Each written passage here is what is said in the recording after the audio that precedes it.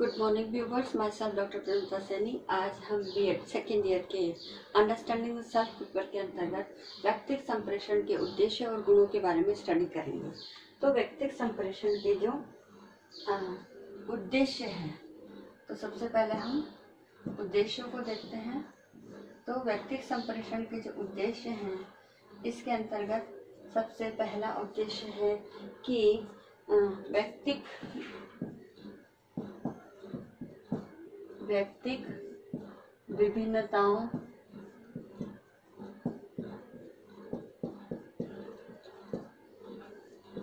विभिन्नताओं एवं मानसिक योग्यताओं योग्यताओं का ध्यान रखना।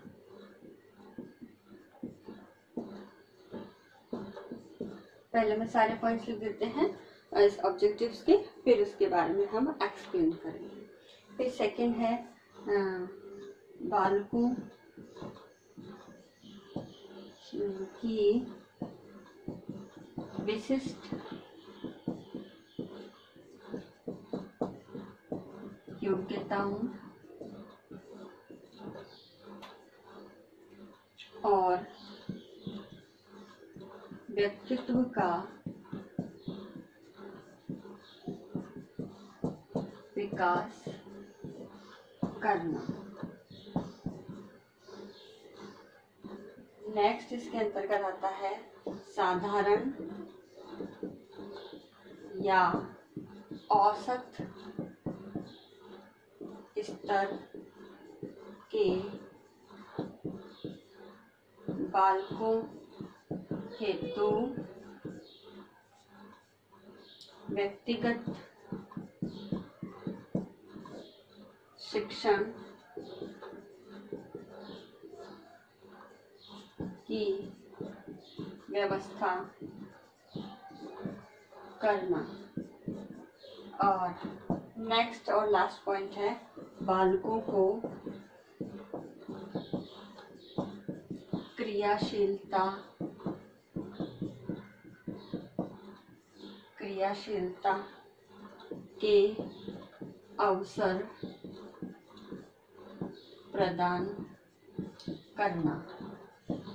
तो इन्हीं मेन ऑब्जेक्टिव्स के आधार पर केस स्टडी सॉरी केस आ, जो है व्यक्तिक संप्रेषण यानी इंडिविजुअल कम्युनिकेशन किया जाता है। तो इसमें सबसे पहला जो ऑब्जेक्टिव है कि बालक की जो विभिन्न व्यक्तिगत विभिन्नताएँ होती है चाहे बाल हर बालक की आ, या बालकों के अंतर्गत उसकी रुचि, आदतें, उसकी आवश्यकताएँ, उसके आयु स्तर, हर चीज़ में इंडिविजुअल डिफरेंसेस पाए जाते हैं। इसी के साथ ही उनके अंदर जो मानसिक योग्यताएँ हैं, तर्क तर्क करना है, चिंतन करना है आलोचनात्मक समीक्षा करना है, मनन करना है तो ये सारी जो मानसिक योग्यताएँ हैं, जो बालक बुद्धि के आधार पर करता है तो व्यक्तिगत विभिन्नताएँ और मानसिक योग्यताओं को ध्यान में इसमें रखा जाता है।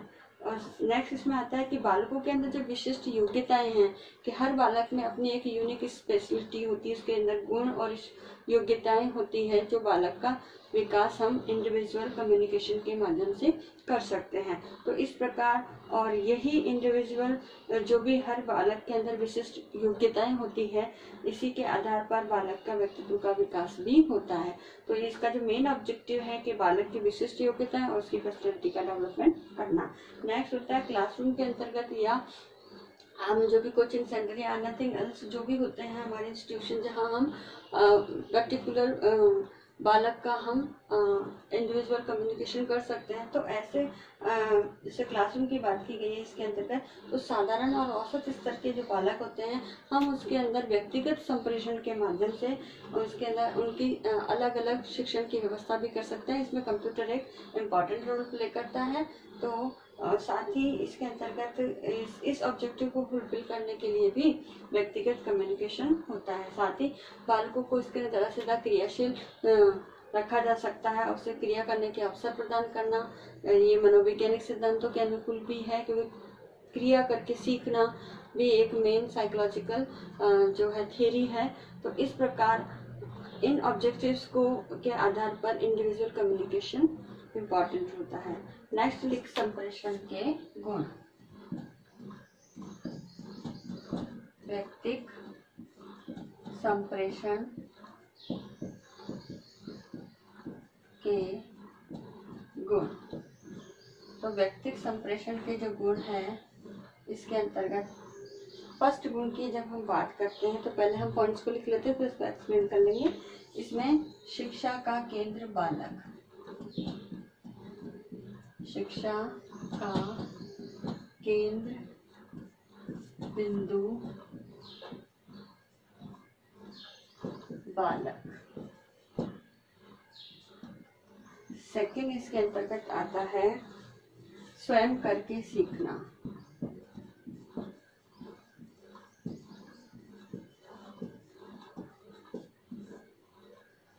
थर्ड पॉइंट आता है क्रियाशीलता के अवसर।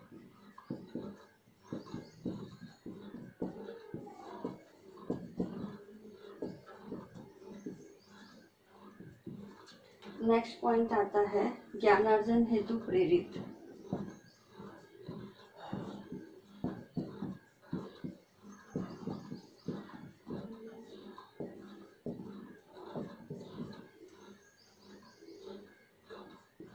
नेक्स्ट पॉइंट इसके अंतर्गत आता है, शिक्षक का बालक के व्यक्तित्व, विकास पर प्रभाव। नेक्स्ट इसके अंतर्गत आता है रोचक विधि।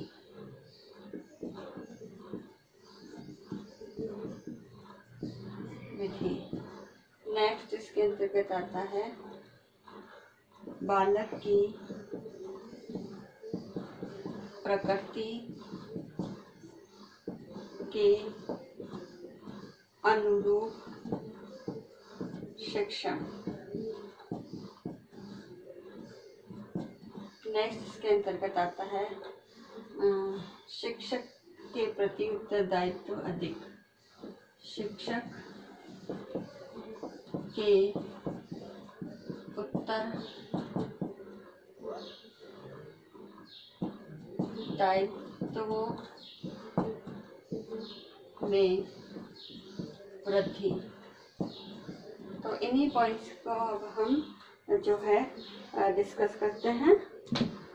इसके अंतर्गत शिक्षा का केंद्र बिंदु है, व्यक्तिगत संप्रेषण की जब हम बात करते हैं तो इसमें हर प्रत्येक जो बालक है, उसको अलग अलग शिक्षण कराए जाते हैं। तो इस संदर्भ में शिक्षा का जो केंद्र बिंदु है, ये बालक होता है। और मनोवैज्ञानिक सिद्धांतों के अनुसार भी हम अगर बालक को केंद्र बांधकर ही टीचिंग कराएँ तो वो ज़्यादा सफल होती है। तो इस प्रकार शिक्षा का केंद्र बिंदु बालक होता है और ये मनोवैज्ञानिक सिद्धांतों के अनुकूल है।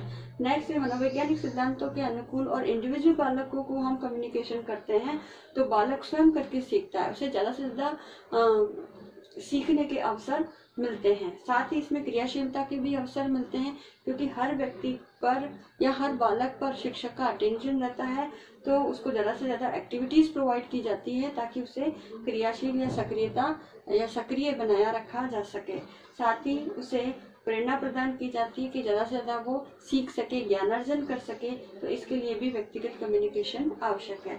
नेक्स्ट इसके अंतर्गत जो शिक्षक द्वारा, शिक्षक का जो पर्सनैलिटी है, उसका इफ़ेक्ट भी बालक पर पड़ता है क्योंकि प्रत्यक्ष रूप से बालक का अटेंशन करता है शिक्षक। तो शिक्षक के अटेंशन के कारण ही जो शिक्षक की पर्सनैलिटी है, उसका प्रभाव बालक के ऊपर पड़ता है। तो जैसा शिक्षक का व्यक्तित्व का विकास होगा, उसी से प्रभावित होकर बालक का भी व्यक्तित्व का विकास होगा। और शिक्षक उसको डाइवर्ट कर सकता है पॉजिटिव वे में, ताकि उसके पर्सनैलिटी का भी डेवलपमेंट हो सके। इसके साथ ही ये रोचक विधि है। रोचक विधि इसलिए क्योंकि इसमें व्यक्ति का इंडिविजुअल रूप से टीचिंग कराई जाती है।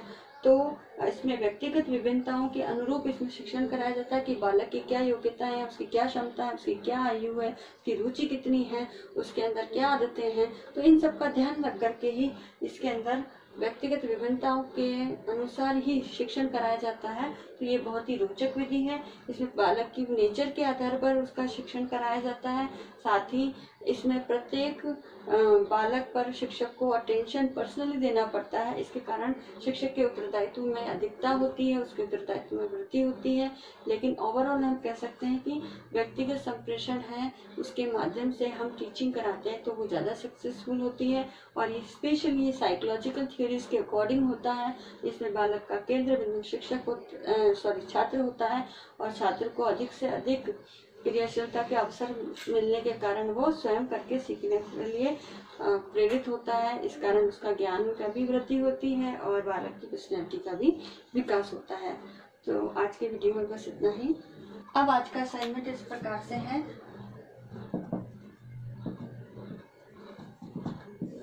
इसके अंदर आपको एक क्वेश्चन दिया जाता है कि व्यक्तिक संप्रेषण के उद्देश्य एवं गुणों का उल्लेख कीजिए।